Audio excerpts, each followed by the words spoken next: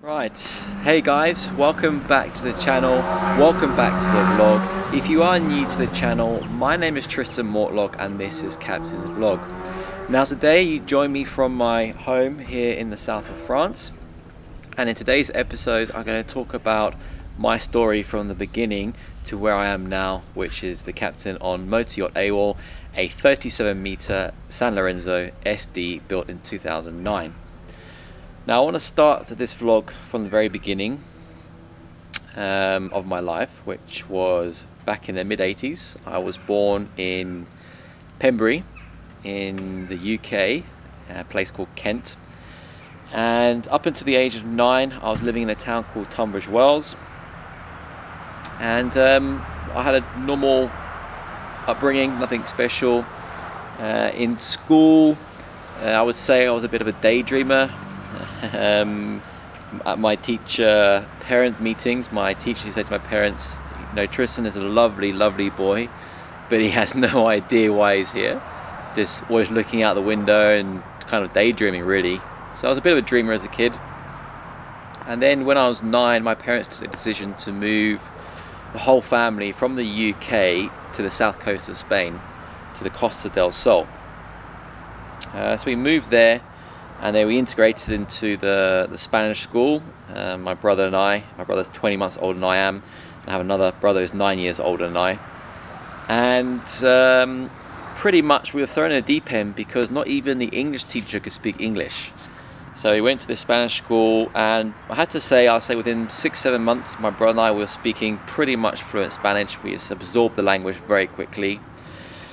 And then through from age of nine until maybe four years, so I was about 13, uh, we weren't really progressing in school. We weren't really, I didn't feel I was really fitting in.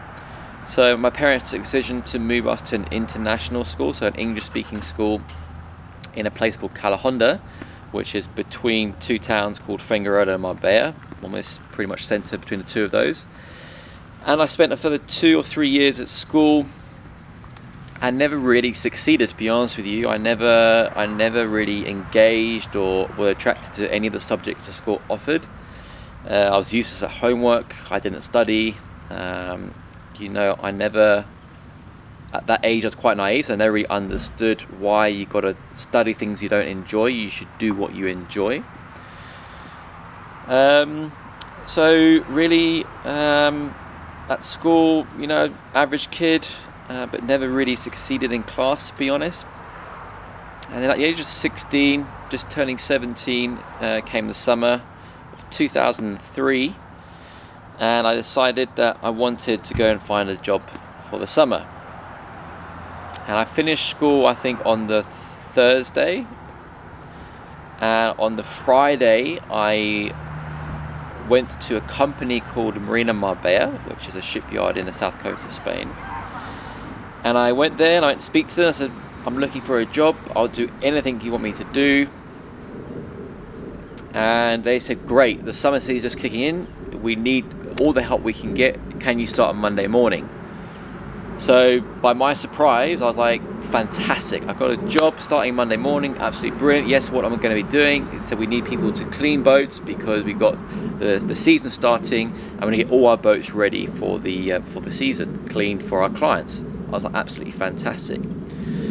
But let me go back a second. Um, so the person that suggested to me to to go and find a job at Marina Marbella was actually my father, uh, because the year prior or two years prior it might have been, uh, we had bought, or my father bought a little 18 foot Sea Ray, and um, we did. I was 15, I think, 15 or 16. We did uh, in the UK in Chichester uh, RYA course uh, which I don't know if it longer exists anymore, but it's called the ICC, the International Certificate of Confidence, which was a two day course. And we went there, my father, my brother, and I, and we, we completed the course.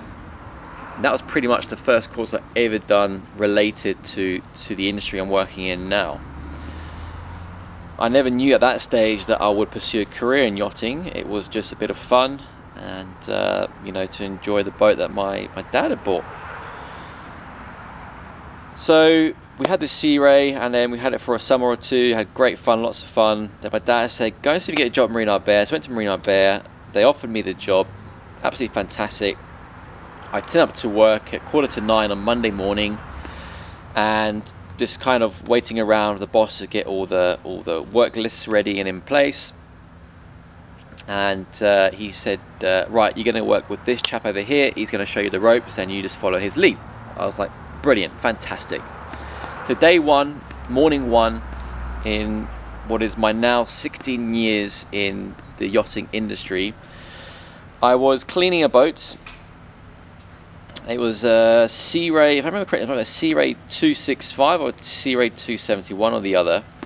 And uh, the boss comes over to me and he says, uh, Have you guys got a boat with us? I said, Yeah, my dad has got a Sea Ray 185.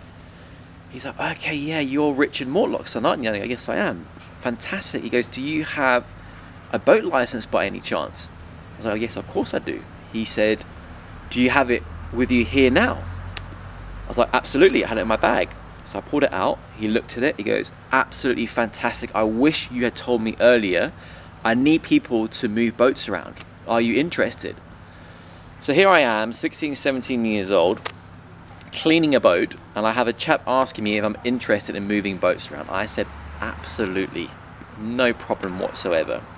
So he's like, Fantastic.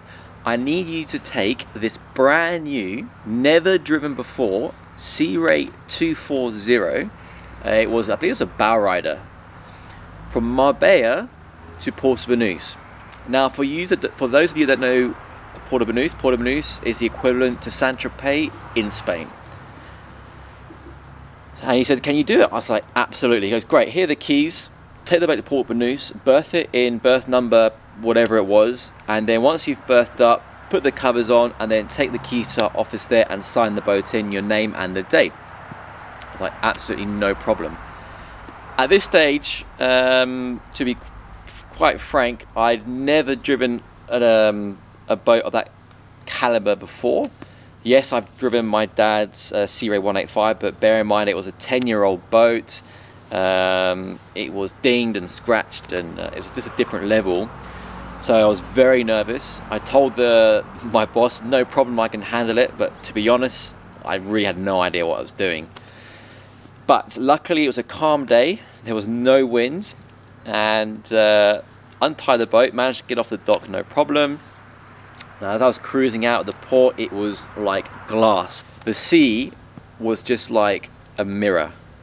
So like any other 16, 17 year old would do, I was like, I'm gonna make the most of this. I took my shirt off, I cranked the radio up, and I just cruised all the way on my own from my Marbella to Port Banús. And I really, at that stage, I thought, this is absolutely incredible. And so I get into Port Banús, I find a berth. I managed to dock it okay, a bit dodgy, but there was no wind, so I managed to put neutral and kind of pull myself in because I wasn't really confident in manoeuvring boats at that time.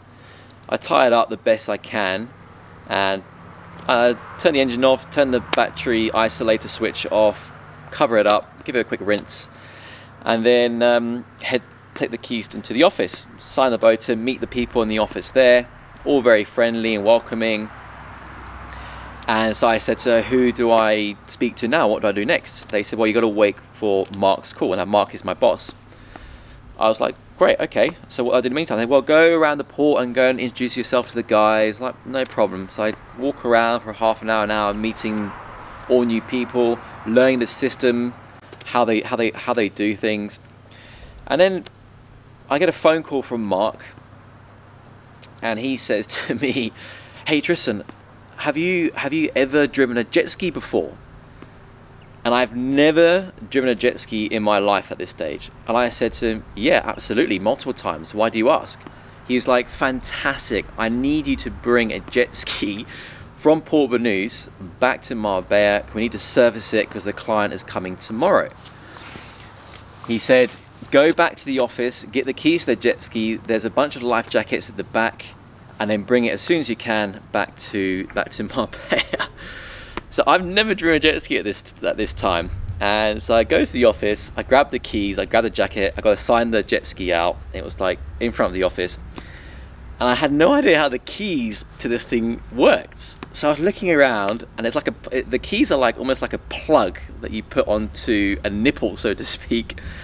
I couldn't work this out, and eventually I managed to like put two and two together. I was like, oh okay, so I plugged it in.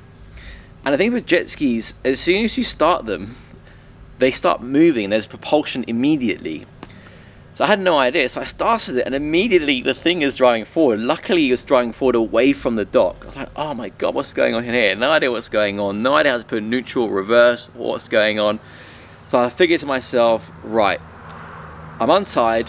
The jet ski's going forward. Let's just get out the ports, and when there's a big open space, work out how everything works. Not the ideal scenario to do things, but this was the situation at the time. So I managed to get the jet ski out of the port, and by the time out of the port, it takes a couple of minutes for me to work out. There's a little lever, you, put, you pull it back, goes into reverse. You can't, it's kind of a neutral, but not really. And there's like a, a throttle, and I think it was a, a, finger throttle, not a thumb throttle. Yeah, it's a finger, a finger throttle. Anyway, the sea is still flat calm. Uh, the jet ski is going back for the surface. So what am I going to do? I'm going to enjoy every moment this side. Is open up this jet ski, and I bombed it back to. Um, back to Marbella,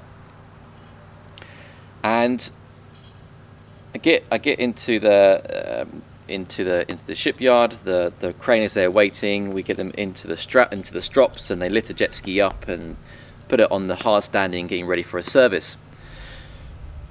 And so pretty much, you know, that was kind of my entry into yachting a 16, 17 year old kid given the keys to a brand new Sea Ray to take to Port Banús, then given the keys to a jet ski that he's never driven before or have no experience of driving. And that was my first day at work for working Marina Marbella.